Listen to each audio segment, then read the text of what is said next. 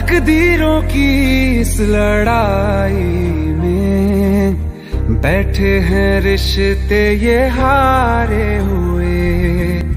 बेचारे दिल को तो पूछो कोई, इसकी खुशी इसको क्या चाहिए?